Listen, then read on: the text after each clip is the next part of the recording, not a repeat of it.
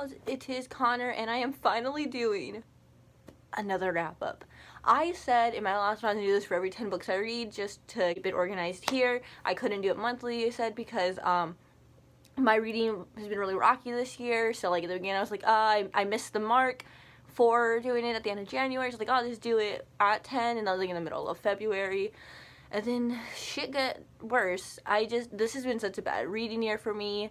I don't know. I just haven't been able to read a lot. Like, life shit going on, mental shit going on. Yo, you want a video about how to read when you have depression and mental illnesses?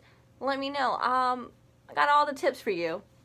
So, I finally have 10 other books to read. These are 11 through 20. Sorry, because, like, I read a lot of these, like, mid-February and shit. The majority of them, like, half of them are, like, at the end of February. So, if I mind thoughts aren't the clearest on them, I'm sorry. I'll show you my, like, reading because I do how like everyone all the booktubers do inspired by Lala from Books and Lala how she does her page tracker and like reading tracker. Let me show you my reading for this year and just it's so bad.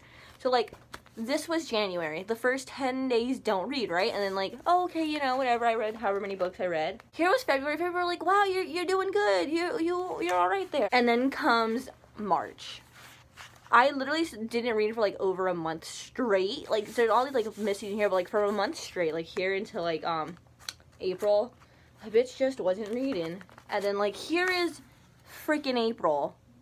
Do do you see? I read one book in April, I think. Or like half of a book in April. Now we're in May, it just started, whatever. See, I'm kind of trying to do it or whatever.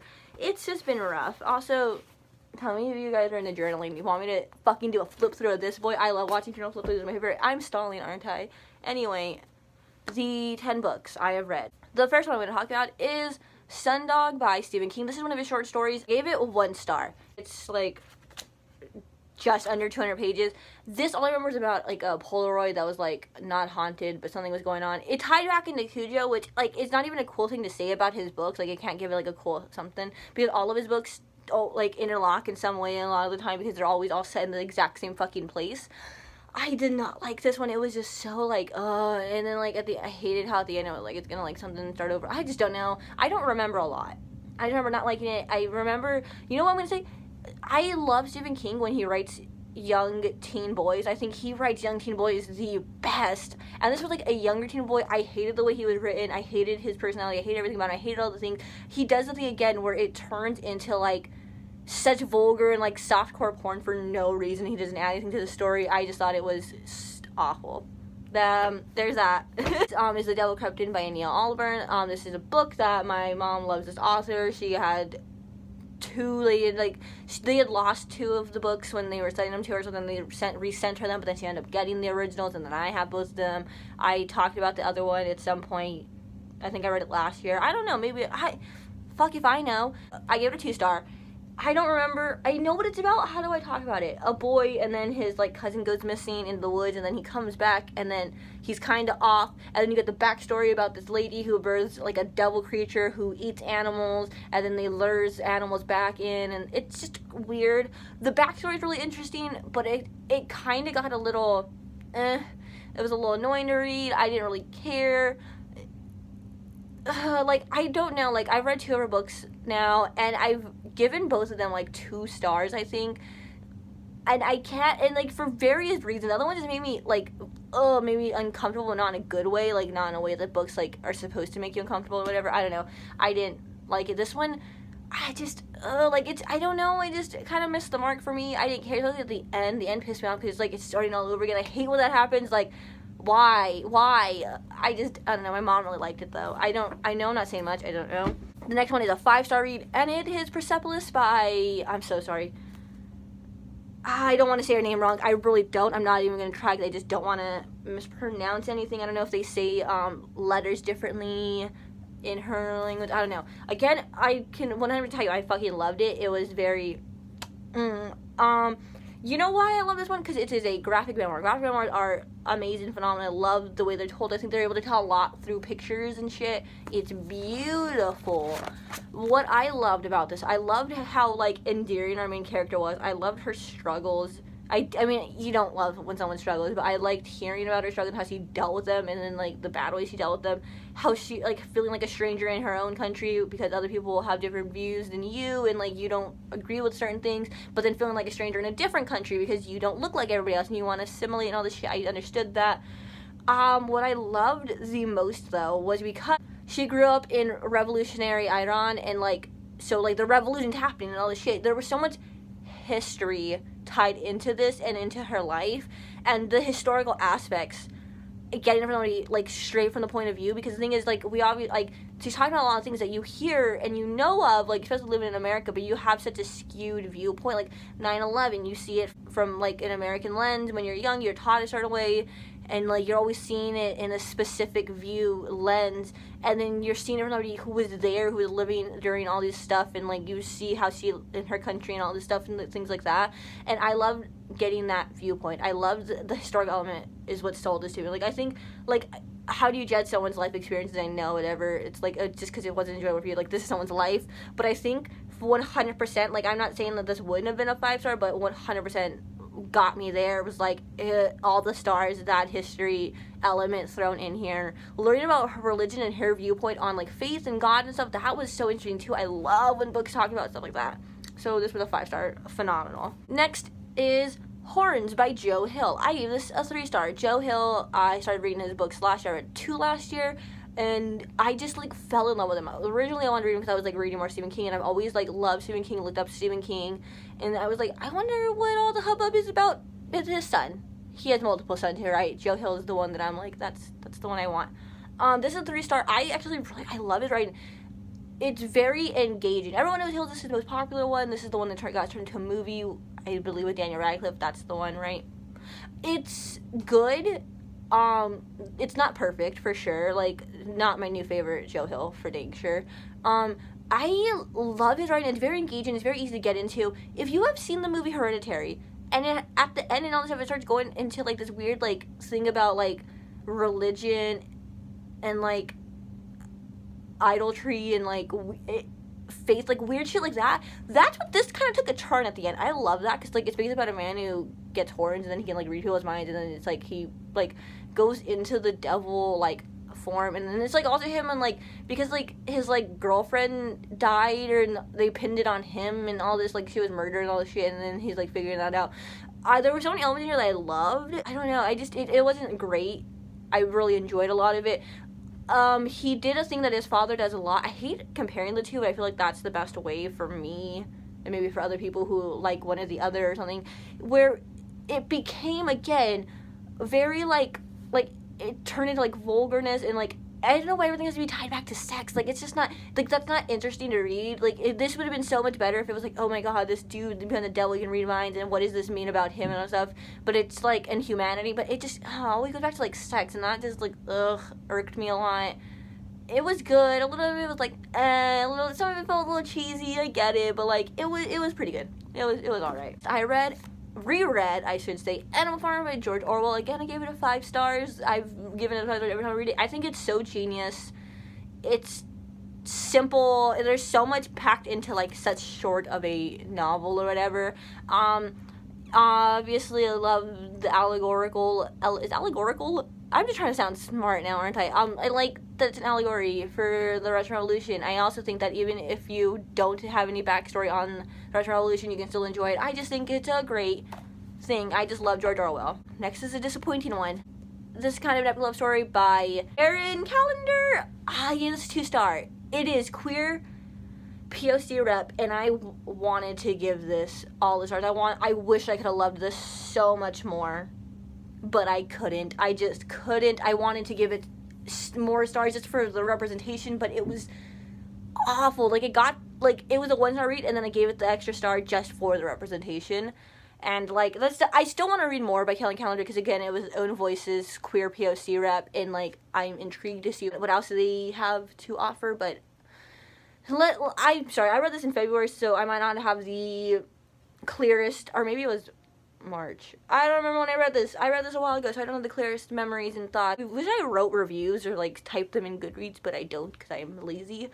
Basically, this was supposed to be about like boys who were best friends when they were kids, one moves away and they have a falling out and then he comes back and then they're supposed to like figure out why they fell apart and then like it becomes like a romance sort of thing and oh man i am a sucker for the childhood friends to lovers trope childhood friends to enemies to lovers like all of that. I am the biggest the ooh that is my weakness. I will i love them. Like i want to like a story i'm currently like thinking of writing is a childhood friends to lovers story. Those are my favorite.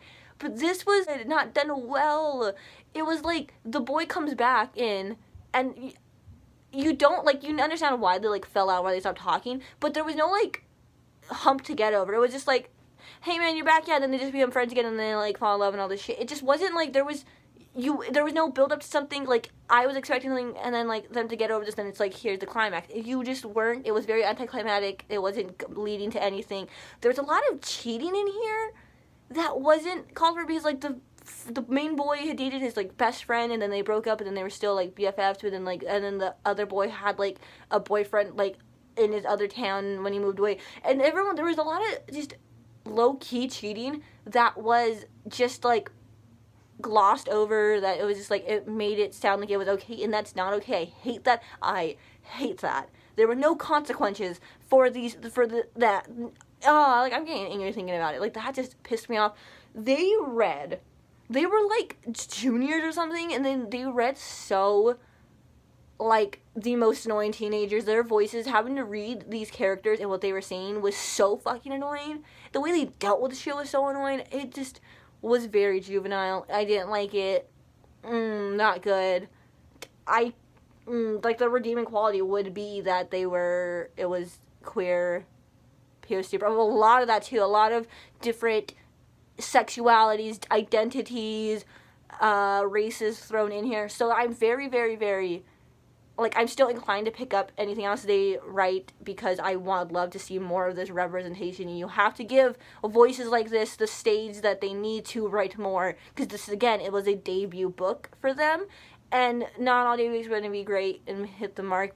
But I am very intrigued to see what else they can come up with because like it had the it, it had the foundation to be good. It just didn't do it. Next is a book that I have an entire vlog about my reading experience with it and stuff. It's called um, Reading My Book to BFF's Favorite Book, and that book is Life as We Knew It by Susan Beth Pfeffer, and this is a post-apocalyptic dystopian novel following a teen girl and her family after a meteor hits the moon close to Earth and everything is fucked up, tides and weather and shit is fucked because of this.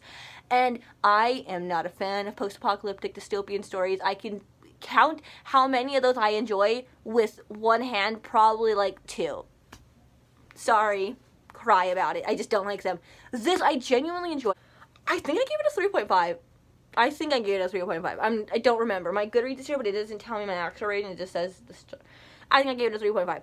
Anyway, um, I really, really enjoyed it. I have more thoughts and, like, summaries and shit on it in that vlog, but basically, um, my biggest things were the character read a little young, and the writing wasn't the greatest, um, but I loved how we got a backstory to why the world is why it is. I think that's a lot of the reason why I can't care because I don't, like, you just oh now we're here and like even if you learn about it it's like I just don't care um, we got some backstory we know exactly why the world is why it is now I loved that I loved how domestic it felt all these characters felt very real they felt like real people they felt like a real family and the struggles and the inner struggles that everybody's going through felt real. I liked when it touched on religion a little bit. I liked the way they dealt with that. It wasn't too cheesy. It wasn't too over the top. It wasn't too preachy. It was it was done very well. Um, I liked how real it was. I guess is the whole thing. Also, like the like what is going on here. Like I'm like it's gonna be our world because we are treating our Earth like shit. Can you please care more about where we are living? Please, because like, I'm not a meteor ain't gonna hit the moon close to Earth, but our like our Earth is getting fucked up on its own. We don't need a meteor because we are the meteor. Like, please care about the environment and the world before we end up like this. Yeah, so I think that made it more enjoyable because I'm like, that shit could happen. Next is a, another reread, and that is The Girl Who Loved Tom Gordon by Stephen King. This is, um, oh, I gave this like four stars, which I'm gonna get into. Um, this is about a young girl. How old is she? Nine? Is she nine? Who gets separated from her family while they're hiking in the woods, and then she gets lost in the woods, and she's in there for a few days, and it's terrifying and all this shit. I always say because one, this was the first ever Stephen King book I read in the seventh grade. I always say this is my favorite Stephen King, and I also say this is his scariest book I have ever read. I've, scary story I've ever encountered from like the books I've read, the stories I've read, and the movies of his and adaptations I've watched. Because it's not like oh, like scary clown or vampires or paranormal shit. It is scary because it is real life. Like this could happen to anybody. You just wander off or you step off course and you're lost and you're gone and you might die out in the woods and there's like a bear chasing you, which isn't scary. The scary thing is oh my god, you're lost and you're all alone and you're young and you're inexperienced, you don't know what to do. Like that's what makes it scary. Um, what made me um kind of wary about rereading this was the fact that I'm like, this is my favorite. What if I don't love it as much as I thought I did or did before? I think before was like a five star. It's not a five star read. I am obviously older. I've read a lot more books. I've read a lot more Stephen King, so I can judge things differently. Uh, I I don't know. This is still my favorite. I don't know. I still hold by it being like um his scariest, I guess. I mean, I don't get scared, but I'm just saying if like in a in any situation, this is the one that I would not want to be in. Cause like clowns and vampires, like that shit ain't fucking real. And, like a clown, it's a clown. Like that's not scary. Like I don't know. Like this is his most realistic one that makes it the scariest. Okay, um, I think for it being very short and it being like something that feels quick paced and it's easy to get through, but then I feel like a lot of it is unnecessary and kind of a little bit dragged. I don't know. It's good though. I would recommend this out of a lot of his other things I've read. So, second to last, again, I have a whole other vlog about this. I think I talked about that in a vlog too. I have a vlog where I read this thing and it was all my thoughts and everything on it. It was my last video, I think. And that is Persuasion by Jane Austen, my first ever Jane Austen novel. What is this about? I don't know. I gave it a two star. It wasn't that great. It was nothing special. I don't see the hype around her. It was it was like any other classic from the 1800s. It didn't have anything special. It was dumb. Everybody fit into a dumb trope from that era. Mm, was it romantic? No, because the love interest and the main girl don't talk at all for like fucking 125 pages in. It's uh, nothing. It just is nothing special. Sorry if this. I know people love her and swear by her. I don't get it. I will never get it. Maybe I to read another one of her books. Haley told me that everything I said about this book is exactly as she felt about Pride and Prejudice. So I'm like, okay, yeah, she's nothing special. Then I don't have to read the rest of her book. I have one more of her books that I will read because I own it. But like, she ain't that great. Why do y'all love her so much? It's like I can, I didn't get anything new. It wasn't crazy and romantic. Sorry. And number 20, the final book, the probably my favorite out of all of these. I finally, finally read The White Book by Han Kang. Oh, what a beautiful, beautiful book. It is basically a book told through various white objects and like not tangible objects, thoughts. I don't even know how to explain it. I love this so much. It is very short. It's like 160 pages maybe. And it's like little like short passages like this about like a white item. I dog-eared the hell out of it. I highlighted so much. It was so beautiful in like a haunting way because the underlying theme of it all is that she's writing to about her older sister who died like two hours into her birth and shit. And oh my god, it's like painfully beautiful in a way because when you think about white, you think purity, you think innocence and beauty and like sterile and just like pristine. You're thinking like good positive thoughts with white, like in dark and like the darker colors and like black are like the opposite, the bad.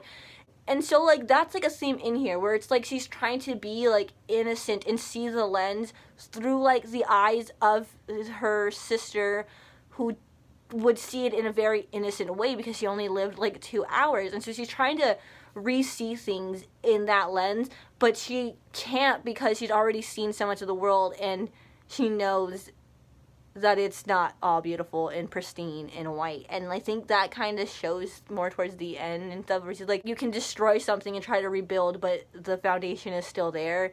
And ah, she has such a way with words where she could be writing about the most awful, terrible things, but they sound so beautiful. And you're like, am I reading poetry? Like, am I reading a sonnet by Shakespeare that's like a love letter? But you're like, no, you're writing about like destruction and death and shit. And it's just, oh, it's so beautiful. And I just, I loved it because white is a simple color and it's just a simple book, but it's like sticks with you and it's very like haunting but beautiful and it's so good.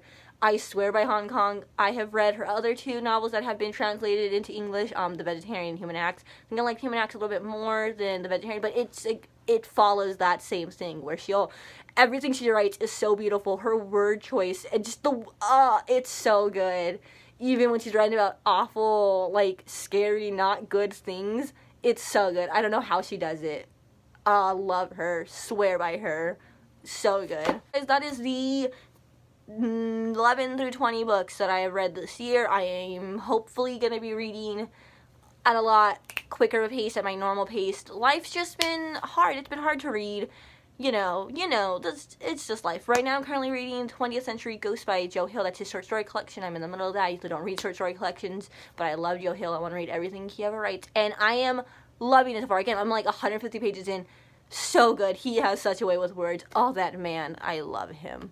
So, uh, tell me if you read anything, tell me your thoughts, tell me anything, talk to me, please. Bye-bye.